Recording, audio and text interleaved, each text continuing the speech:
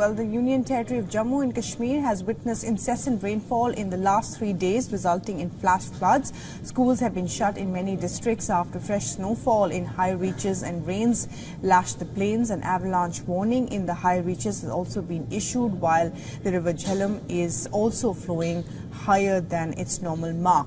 Now, due to the continuous rains, the national highway connecting Jammu and Srinagar has also been closed for traffic. There has been uh, there have been multiple road accidents across various districts due to the heavy rainfall, including the Gagangir Sonamarg accident in which four people have died while three were rescued alive. Uh, meanwhile, search operations in the river stream continue for two missing people as well. Gulmarg received 2 to 4 inches of snow. Gurez with 6 inches. Tulail also received 6 inches of snow. Mughal Road and Zojila received 1 foot of snow. Some places will witness snowfall tonight as well. The temperature is around 10 degrees below normal.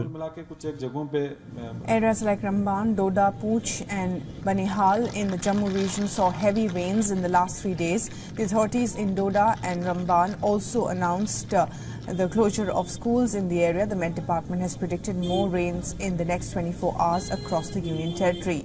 They've also sent an advisory to farmers to suspend all operations till the 30th of April. The Met Department has said there are chances of landslides and shooting stones in many higher reaches.